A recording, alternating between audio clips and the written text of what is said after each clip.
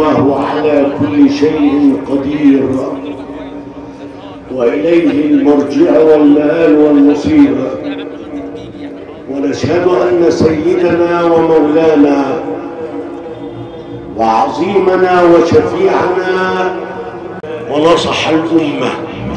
وكشف الله تبارك وتعالى به الغمة. صلاة طيبة عطرة عليك يا حبيبي يا رسول الله.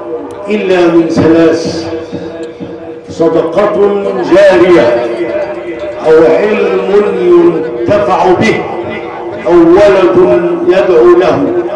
فندعو الله تبارك وتعالى بكل إخلاص أن يرحم أخونا مين ويتجاوز عن سيئاته. اللهم اغفر له وارحمه وتجاوز عن سيئاته.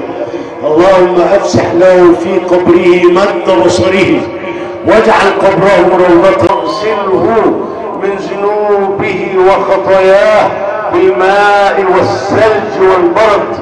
اللهم افسح له في قبره مد بصره واجعل قبره روضة من رياض الجنة. اللهم إن كان محسنا فزد في إحسانه وإن كان مسيئا فتجاوز عن سيئاته. اللهم احشره مع النبيين والصديقين والشهداء والصالحين وحسن أولئك رفيقا.